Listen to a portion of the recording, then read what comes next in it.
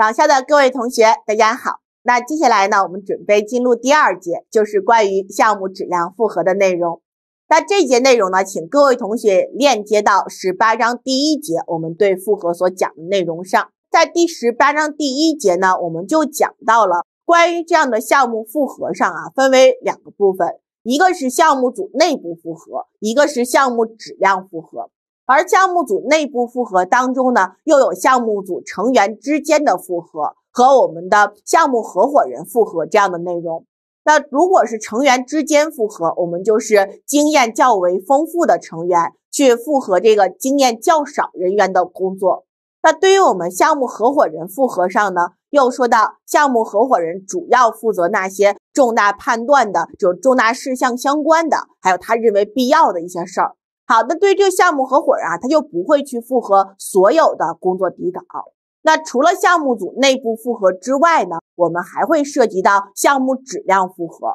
这个项目质量复核中啊，项目质量复核人他就应该是独立于项目组、不参与项目组工作的人员来做。有的时候呢，我们在这个客观题或者说主观题的小问当中。考到的内容啊，会结合到项目组内部复核和项目质量复核的这种说法结合来考题。所以说，大家遇到相关题目的时候，可以把第十八章第一节涉及到的部分跟我们这一节内容呢结合起来，来进行理解和消化吸收。好，那我们来看这一节关于项目质量复核的内容。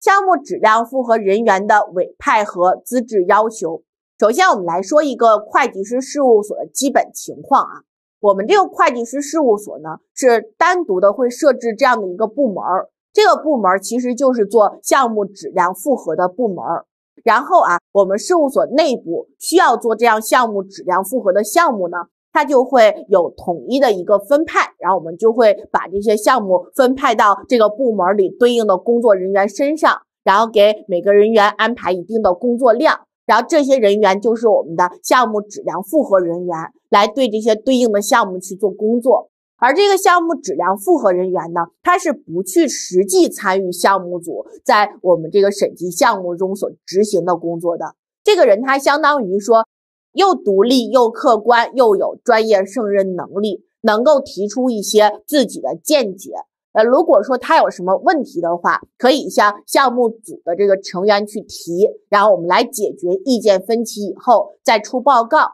这样的话，你不只是项目组内部在把握这个项目的质量，我们还有项目组外部的这个项目质量复核人员来把握这个项目的质量，相对来说就会更为安全一些。好，那我们首先就是项目质量复核人员的委派问题。这个委派问题，就是考虑到你选适当的人员以后，他能够更好的发挥作用。这个人员他一定是要具有一定的独立性。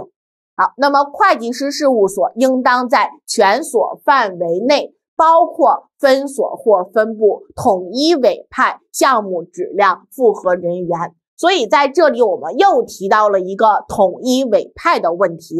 并确保负责实施委派工作的人员具有必要的胜任能力和权威性。好，你看这里又是统一委派，而且负责实施委派工作给分派工作的人呢，还得有这个胜任能力和权威性。因为你在分派工作的时候，你就要考虑这个项目质量复核人员他是否是具备这样的一个独立性、客观性，还有他的专业胜任能力之类的。那么肯定是要了解情况的人员才能做出恰当分配，所以我们对他的能力和权威性也有要求。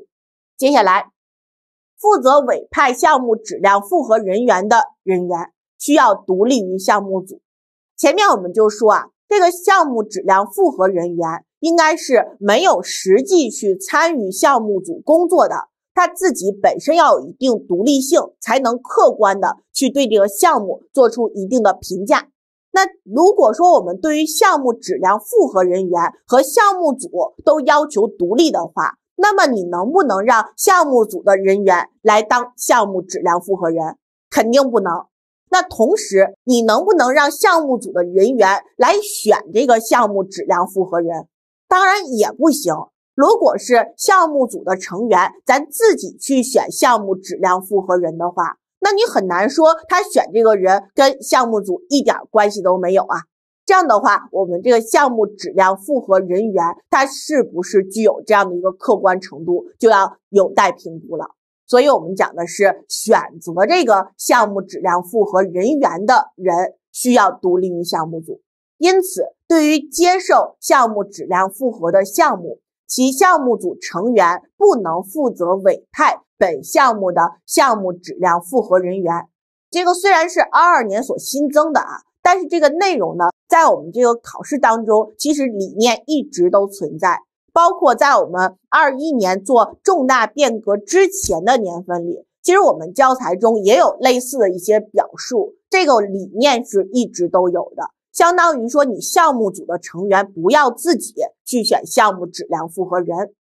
好，那接下来我们就来看主观题的小问：A、B、C 会计师事务所的质量管理体系部分内容摘录如下。上市实体审计业务的项目质量复核人员由会计师事务所统一委派，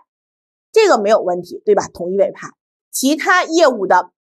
项目质量复核人员由项目合伙人推荐，向会计师事务所备案。相当于说，其他业务这个项目合伙人就自己选了质量复合人员，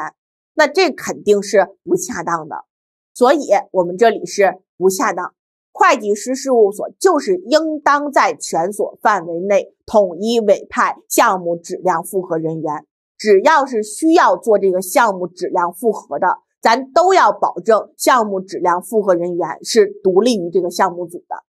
所以，我们不管是上市实体，还是说法律法规要求做项目质量复核的。还是事务所制定明确标准来确定哪些该做项目质量复核的项目，那它都是同样的去对待。那不能说上市实体统一委派，其他就不统一委派了，所以就是不恰当就行了。好，我们继续来看关于项目质量复合人员的资质要求。项目质量复合人员应当独立于执行业务的项目组。项目合伙人和项目组其他成员不得成为本项目的项目质量复合人员。这个内容同样一定要会。当然，我们前面已经讲过这个理念了，就是合伙人和项目组其他人员，就这个项目合伙人、项目组其他成员都是项目组的人，他是不能当质量复合人员的，他也不能选质量复合人员。这个质量复合人员对于项目组而言，得具有一定的独立性，而且这个项目质量复合人员还要同时符合下列条件。那其实我们对他这个条件要求呢，就是要求他有能力、有时间，然后有这样的一个遵守职业道德的相关情况，符合任职的资格。好，那我们第一条是大家需要特别去关注的。平常啊，我们对一个审计业务去委派项目合伙人的时候，是不是要考虑这个项目合伙人他得遵守我们独立性的要求，同时呢，他又得具备专业胜任能力？OK，那么如果说这个项目合伙人能够对这个项目具备专业胜任能力，才能够把这个业务做下去。现在我们有这样的项目质量复合人员，他是不是同样得有这个胜任能力？同样的有，那么项目质量复合人员想要挑出这个项目组工作上的问题的话，他是不是至少得跟项目合伙人的能力相当啊？如果他还不如项目合伙人的能力，即使这个项目合伙人做的工作他有一定瑕疵、有问题，这个项目质量复合人他也发现不了。发现不了的话，这个业务啊，给他去进行项目质量复核没有实际的价值。所以，我们要求是：第一，具备适当的胜任能力，包括充足的时间和适当的权威性，以实施项目质量复核。项目质量复核人员的胜任能力应当至少与项目合伙人相当。这句话，请各位同学来关注，因为我们只有在这种情况下。他才能挑出项目合伙人在指导这个工作上的一些错，比如说相当于这个项目组执行工作上的一些疏漏。第二是遵守相关职业道德要求，并在实施项目质量复核时保持独立、客观、公正。那第三就是遵守与项目质量复核人员任职资质要求相关的法律法规，如有。那简单来说，就还是对职业道德和胜任能力有要求，然后要有这样的一个符合任职资质要求的相关规定。比如说，他得是注册会计师吧，对吧？我们会要求他的是相应的注册会计师，持有这个相应证书等等。好，那我们继续为。确保项目质量复核人员的权威性和客观性，会计师事务所应当委派合伙人或类似职位的人员，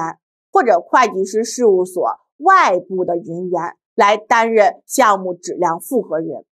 这块大家特别注意啊，我们说委派合伙人或者类似职位人员，我们一说合伙人呢，他其实在会计师事务所里，他有不同的身份。比如说，我们这个业务上，他去负责这个业务总体质量的，那我们叫他项目合伙人。当然，会计师事务所里还有一些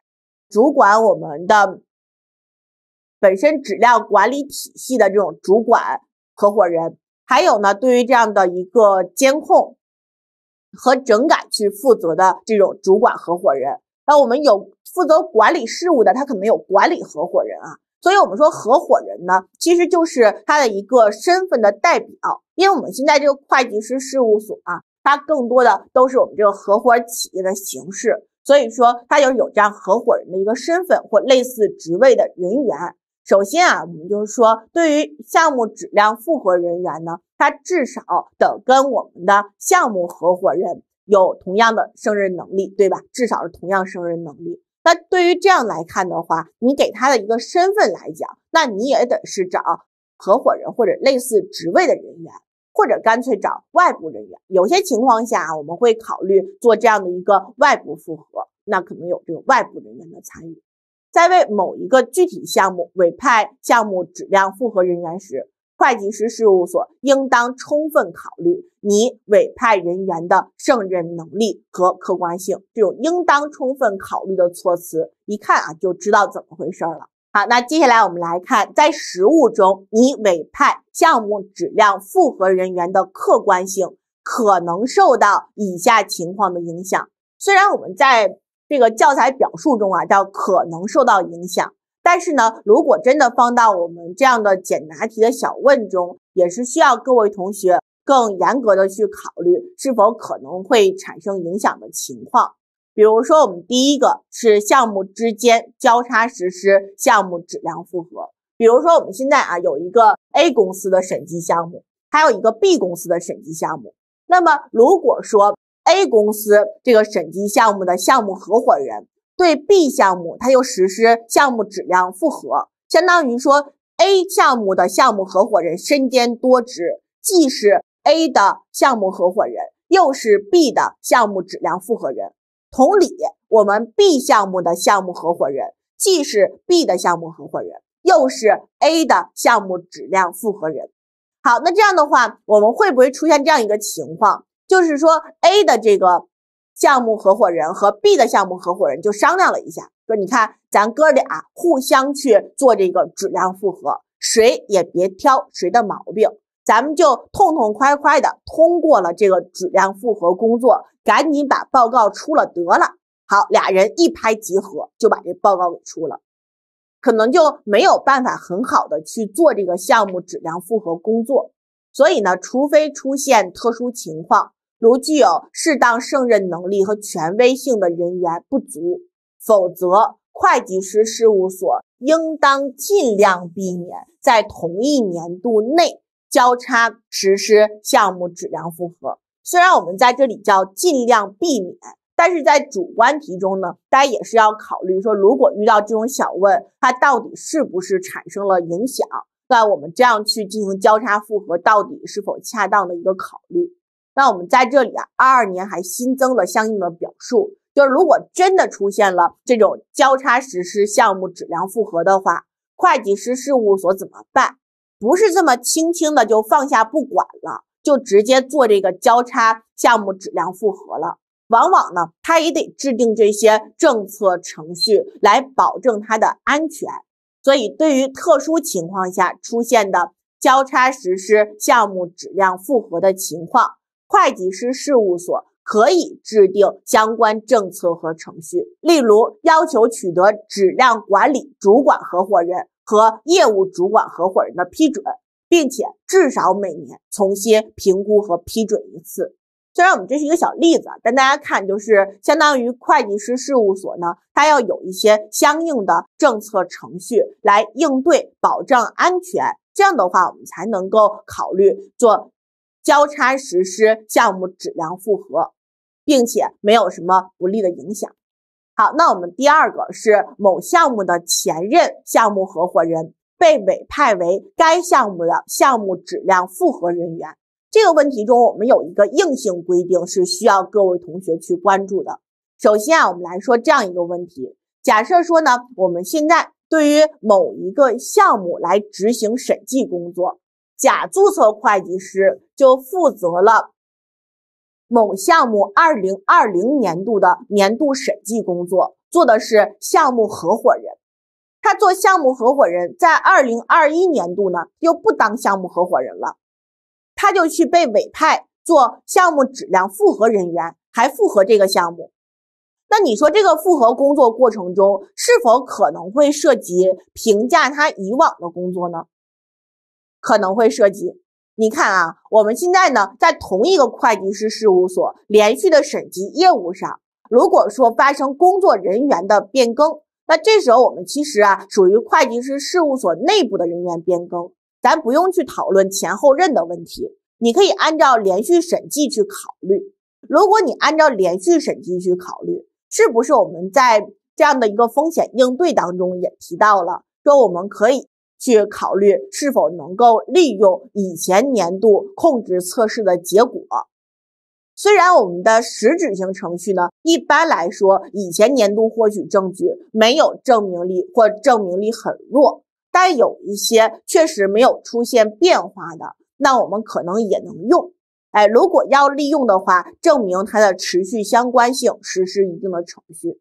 你看，其中就有可能会利用到之前的工作。那如果说甲注册会计师在二一年度做这样的一个项目质量复核人员，就有可能会存在。他在复核工作中发现，这个底稿中有一部分工作是利用了以往年度的工作成果。哎，如果利用以往年度工作成果，就是他当年自己做项目合伙人所做的工作，现在自己来做复核了，肯定要影响他的客观性嘛，对不对？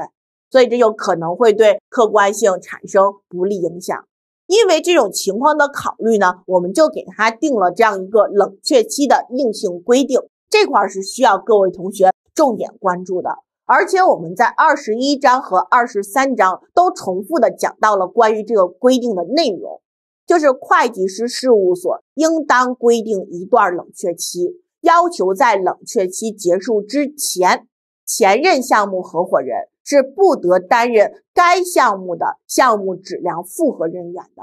这段冷却期至少应当为两年，也就是我们说二零年的话，如果甲担任的是项目合伙人的话，那么二一年他现在不能去当这个项目质量复核人。如果他也不当项目合伙人，不做我们这样的一个。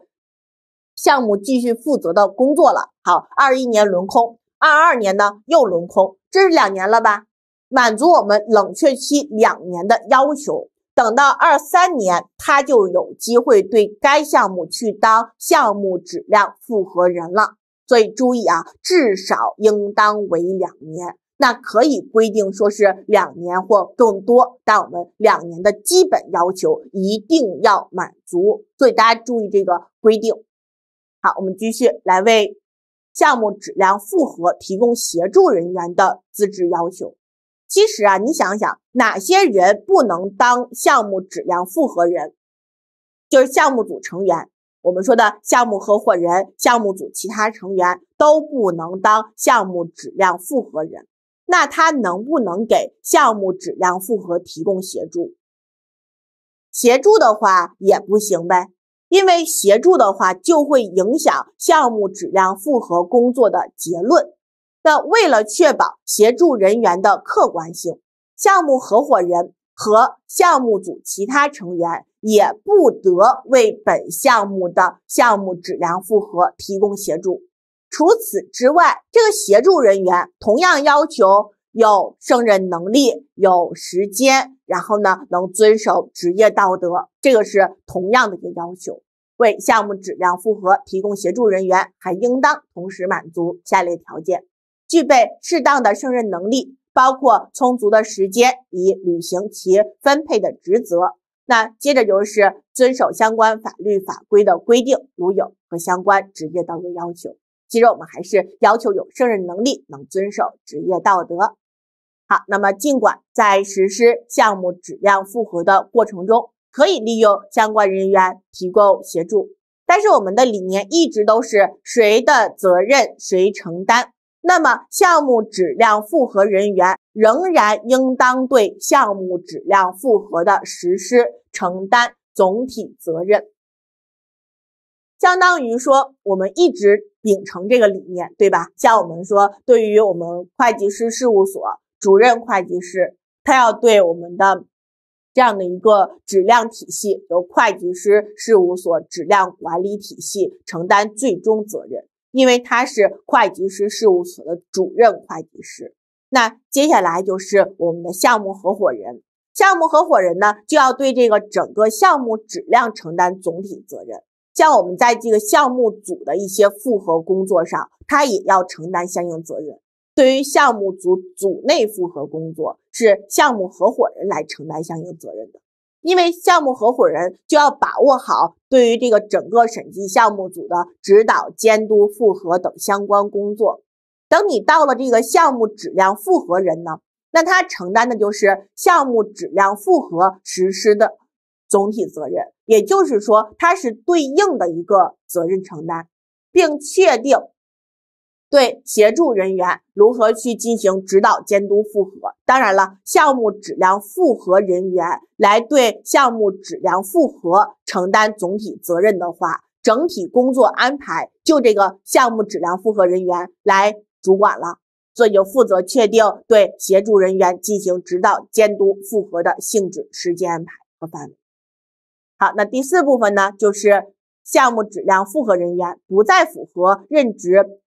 资质要求的情况，在某些情况下啊，已委派的项目质量复核人员可能不再符合任职资质要求，这个是我们在二二年新增的一个表述。但是呢，我们各位同学应该很清楚会出现这类情况的一些情形。等我们讲到独立性的内容的时候啊。那大家知道，对于项目质量复核人员呢，我们同样要求他遵守独立性的有关规定。比如说，我现在呢就负责对甲公司这个审计项目去担任项目质量复核人员，然后呢，我当时认为自己是符合任职资质要求的。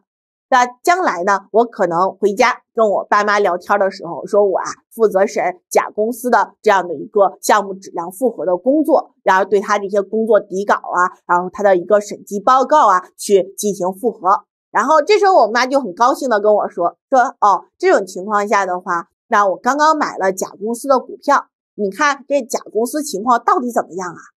相当于说我的主要近亲属跟这个。被审计单位拥有了这样一个经济利益，那我就不再符合独立性的这种规定了。那我要是不再符合独立性规定，其实我也就不能去当这个项目质量复核人了，对吧？就如果说项目具体情况发生变化，可能导致项目质量复核人不再具备适当的胜任能力或客观性，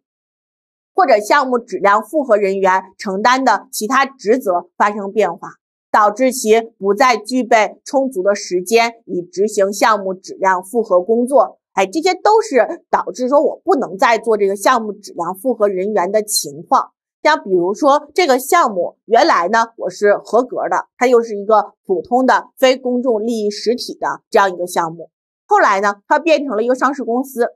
哎，可能我们对上市公司的项目质量复核人员的这个胜任能力的考虑要更高，对吧？对于他客观性啊，或者胜任能力的考虑啊，我们肯定要更严格一些。OK，那在这个情况下，导致说哦，我们的胜任能力不够了，可能也要去变更项目质量复核人员，主要就是判断一下他到底是否还符合任职资格的要求。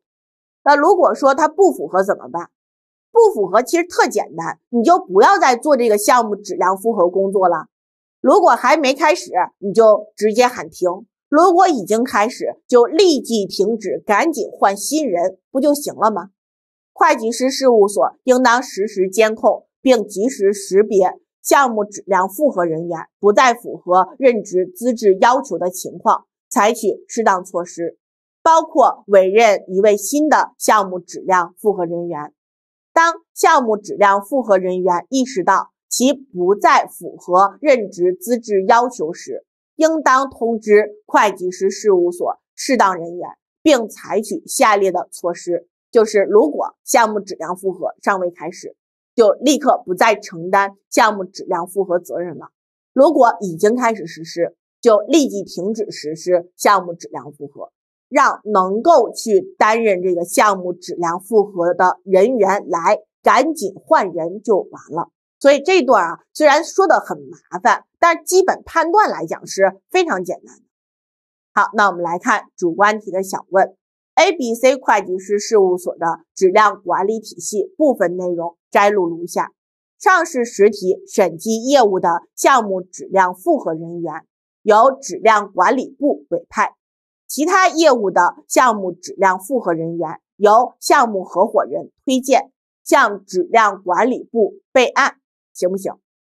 其实还是这个问题，就项目质量复核人员不能由项目组成员来选定，那你这个推荐最后呢，这个质量管理部门备案，其实还是由这个项目合伙人来选的，所以肯定是不恰当。项目质量复核人员由项目合伙人挑选，就可能影响项目质量复核人员的客观性。你看，我们在这个判断当中啊，给了一个结论，叫做可能影响项目质量复核人员的客观性。那同样的，如果我们出到这样的一些交叉复核情况，它其实也可以去答可能影响我们的客观性。在这种判断上呢，要结合案例更。谨慎的去考虑。接着我们来看主观题的小问：A、B、C 事务所的质量管理制度部分内容摘录如下：A、B、C 会计师事务所规定，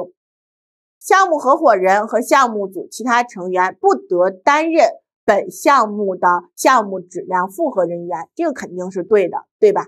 那但是可以为本项目的项目质量复核提供协助。这个提供协助就错了，他也不能提供协助。然后给大家讲一下，就是其实我们在做这个项目质量复核的时候，后面会提到这个项目质量复核工作中应该做的一部分内容。那其中呢，你就会有跟项目组成员去讨论这个部分。但他总不能自问自答吧？就相当于说，那我们项目质量复核中，你是会跟项目组成员去沟通。但是你跟他沟通是为了了解这个项目的情况，它并不叫提供协助，它是我们工作一部分。像我们在这个工作当中呢，如果项目质量复核人员认为他某一块是有问题的，他可以提出问题，要求这个项目组成员来解答，或者认为某些工作做的还不够充分，可以要求这个项目组成员来补充工作，对吧？再获取进一步的一些其他的审计证据。那这都不是协助，协助的话应该是帮这个项目质量复核人员去做本来他应该做的工作，那这个的话就不可以，所以答案就是不恰当。那我们在这里问的是是否违反相关规定，那自然就是违反。为确保协助人员的客观性，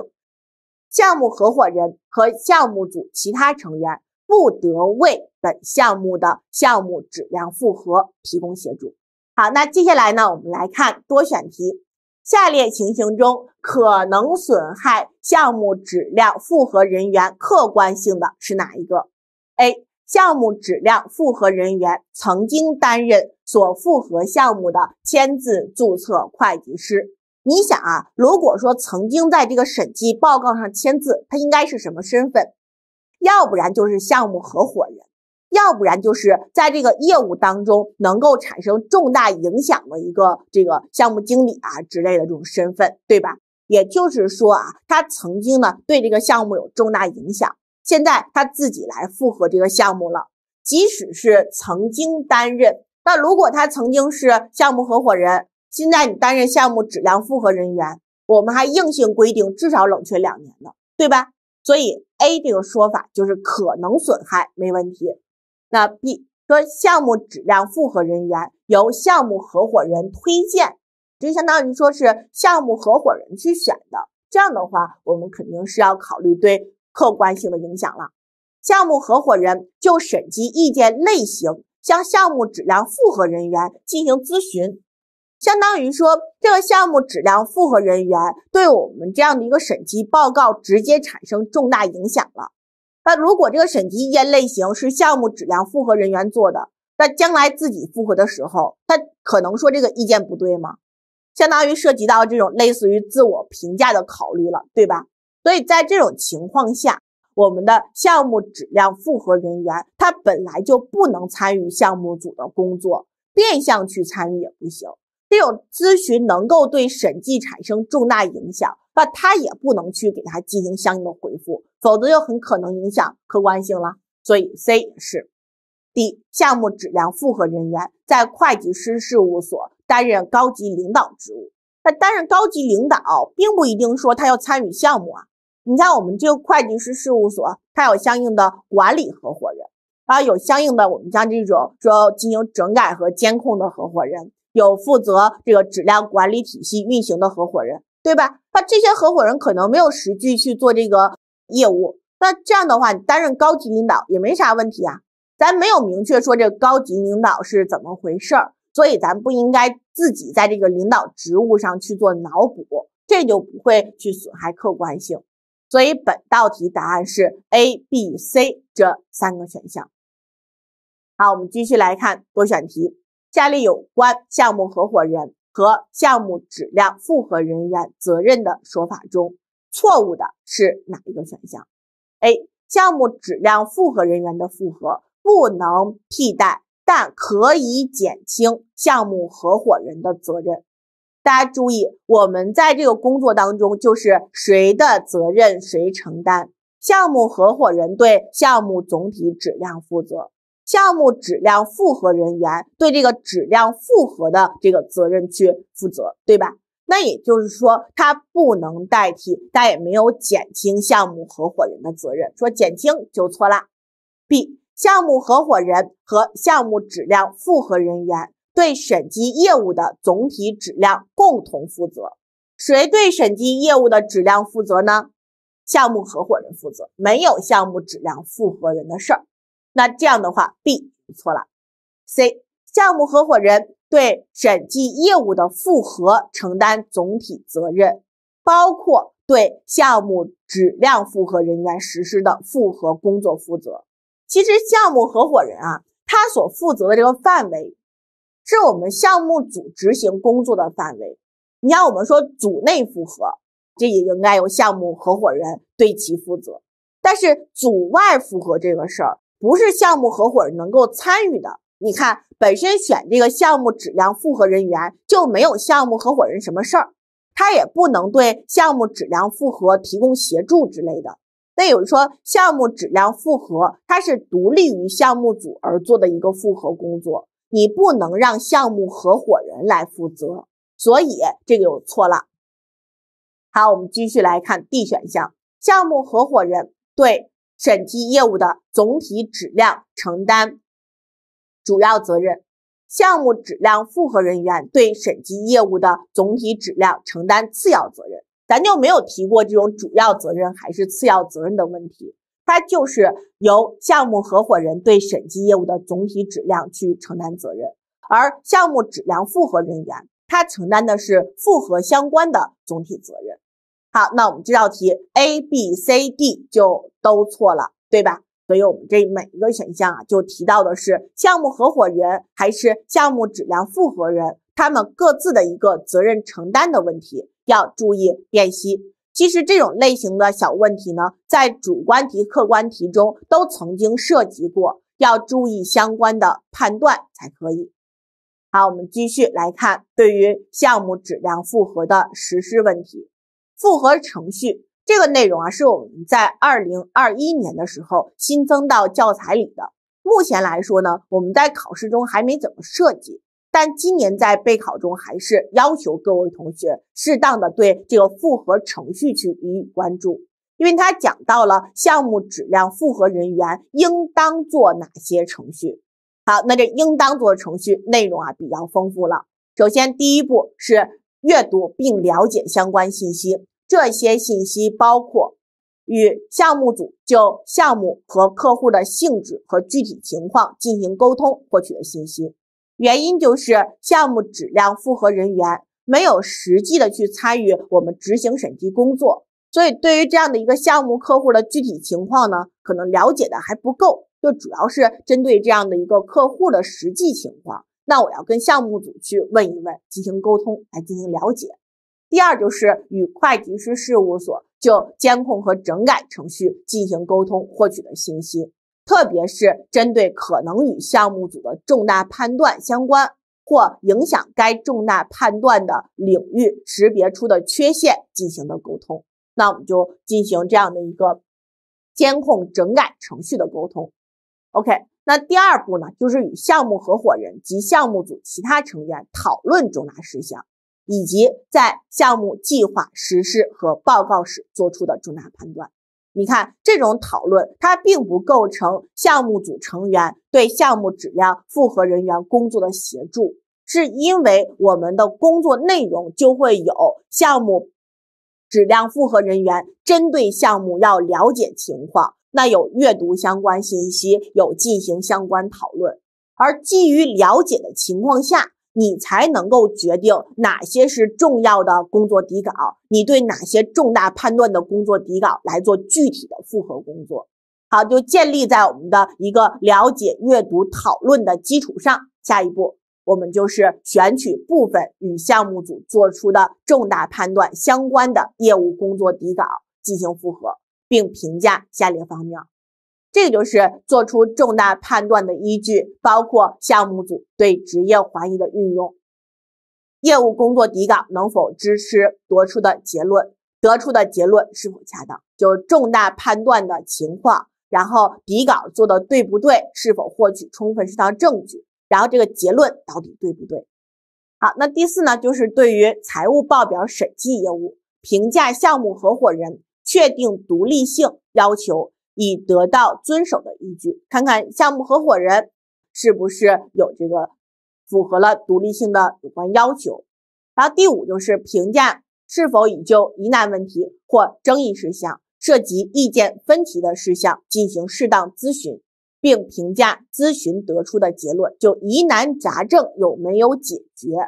好，第六是针对财务报表审计业务评价项目合伙人。得出的结论的有关依据。好，那么这就是项目合伙人对整个审计过程的参与程度是充分且适当的。项目合伙人能够确定做出的重大判断和得出的结论适合项目的性质和具体情况，对这个项目合伙人的工作进行评价。好，那最后呢，我们来看第七，就是针对下列方面实施复核，什么呢？前面我们对工作底稿的这些问题已经进行复核了，现在啊，我们要对针对这个工作所出的报告也进行一个复核，因为你要基于现在所获取的充分适当的证据来出报告，那么你这个报告应该是适合于具体情况的。那好，如果是针对财务报表审计业务，那你就复核被审计财务报表和审计报告。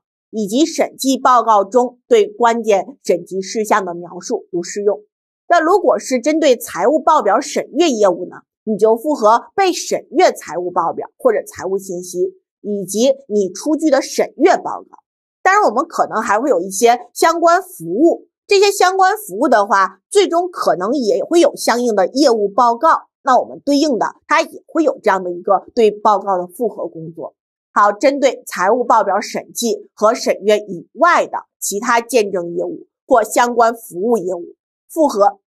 业务报告和见证对象信息如适用。说到这儿啊，我们就涉及到了七个方面应当执行的工作。那我们简单的给各位同学总结一下，来帮助各位同学做相应记忆。那我们想想都要做什么？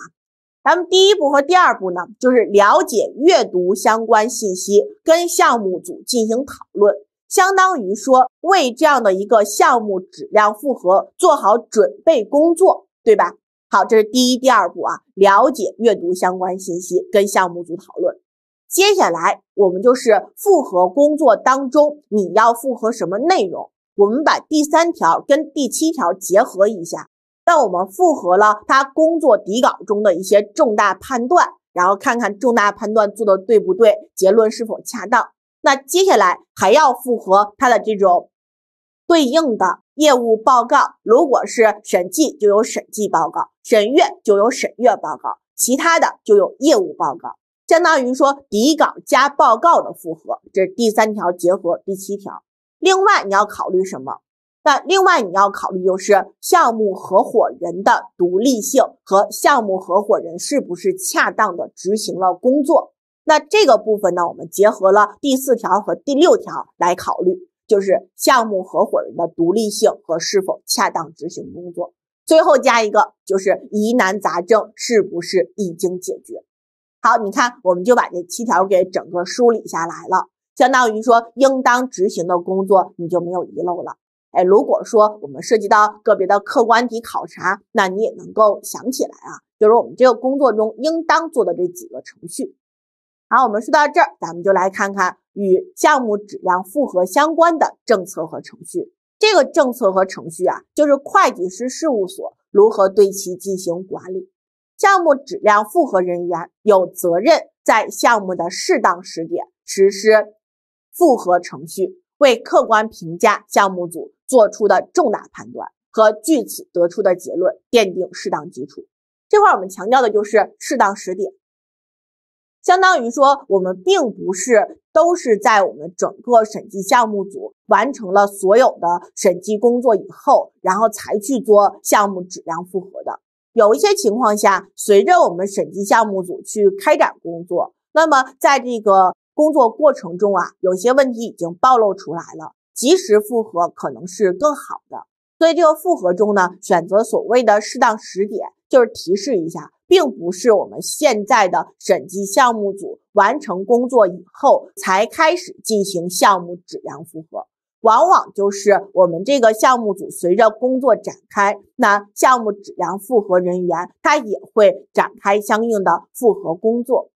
项目合伙人与项目质量复核相关的责任。包括禁止项目合伙人在收到项目质量复核人员就已完成项目质量复核发出通知之前签署业务报告。这我明确提到过啊，就是我们要把该做的工作都做完了才能出报告。那这个该做的工作就在我们整个的这个业务流程上来看，比如这个项目就应该做项目质量复核。那项目质量复核完成后才能出报告，没完成自然不能出报告。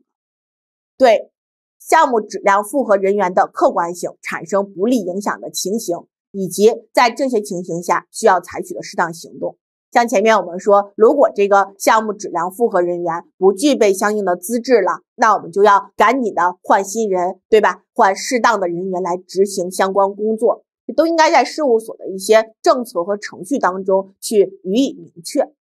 好，那么项目质量复核的完成。如果项目质量复核人员怀疑项目组做出的重大判断或据此得出的结论不恰当，应当告知项目合伙人。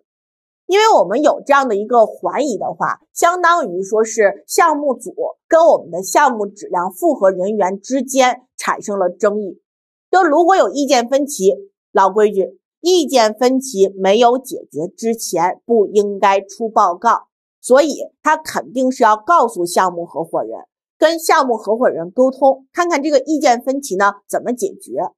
如果说能够解决，咱就正常的去出这样的一个审计报告就行了。但如果说这个审计项目啊，我们确实没有办法合理的去解决意见分歧，我们还是要告诉事务所适当人员，这项目质量复核无法完成，那就看后面怎么解决了呗。因为这个无法完成的话，最终呢意见分歧没解决，咱可能不能出报告。那我们要考虑说如何给他出恰当报告啊，还是说确实无法完成业务，那能不能解约啊等等，就根据具体情况再来判断了。所以，如果这一环疑不能得到满意解决，项目质量复核人员光跟项目合伙人沟通可能解决不了问题，应当通知会计师事务所适当人员。项目质量复核无法完成，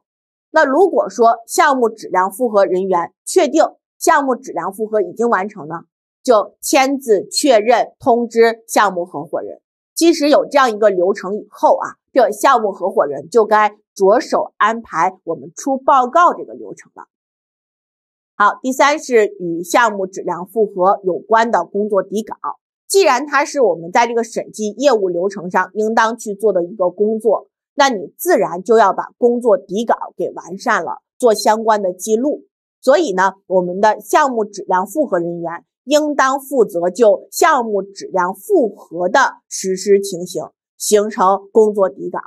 对项目质量复核形成的工作底稿，应当足以使未曾接触到该项目的有经验的职业人员。了解项目质量复核人员以及对项目质量复核提供协助的人员，如有所执行程序的性质、时间安排和范围，以及在实施复核工作过程中得出的结论。其实这个问题大家应该非常眼熟，咱们在第六章有类似的表述。就是对审计工作底稿，就要求说，审计工作底稿也应该是未曾接触该项目的人员，有经验的人员，能够了解我们具体工作的内容，有相应类似的表述啊，可以链接起来去看一看。好，我们说到这儿呢，就来看看关于项目质量复核工作底稿应当包括的内容，其实就是人员复核了哪些，然后我们做了什么工作，得出了什么结论，完成工作的日期。对吧？所以第一就是项目质量复核人员及协助人员的姓名。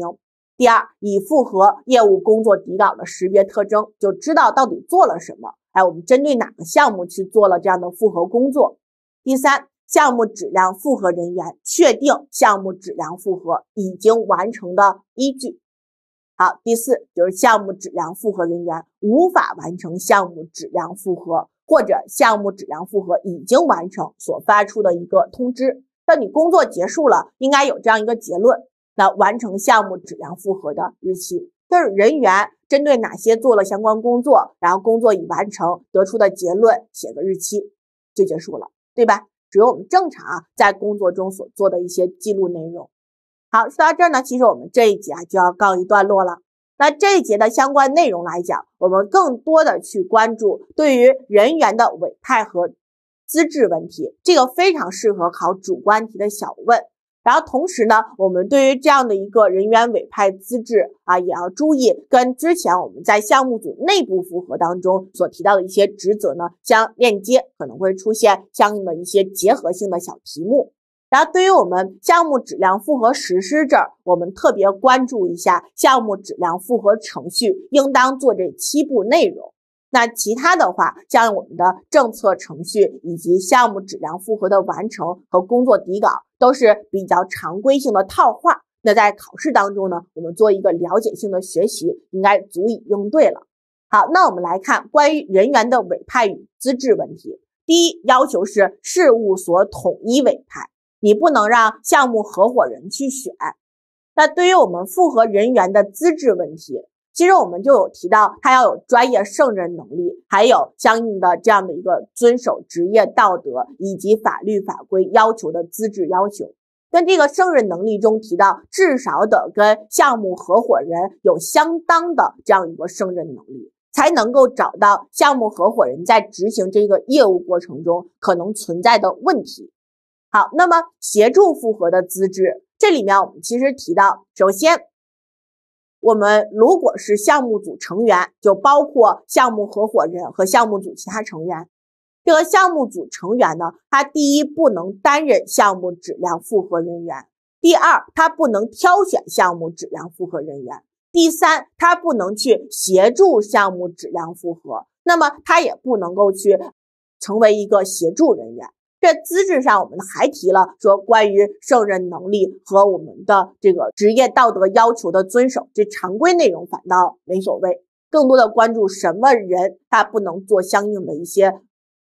帮助，然后什么人不能去挑选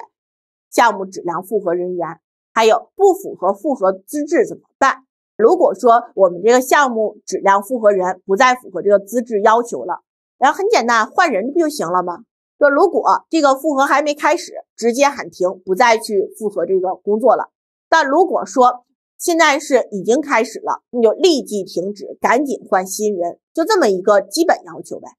对于我们项目质量复核的实施这块，我们提到了它的一个程序问题，程序中提到了七步，但是我们综合来说，给大家做了相应的总结，其实就是了解、阅读相关信息，跟项目组讨论。建立在这个基础上，决定复核哪些工作底稿。同时，我们最后一步里还提到了要复核相关的业务报告。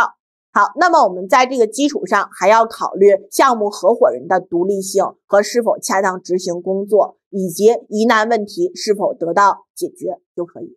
好，相关的政策程序，还有项目质量复核完成以及工作底稿，就对这些表述做一个相应的了解性学习。总体来说，它的考评啊，应该并不会特别高。好了，那我们这一节呢就到这儿。整体来说，这节难度不太大。前期各位同学也在一些内容中有所接触，就是把这个步伐重新梳理明确，注意跟第十八章第一节我们所讲到的项目组内部复核去予以结合，有些结合性的题目要注意判断就可以了。好，那我们第二节内容给各位同学讲到这儿了，谢谢。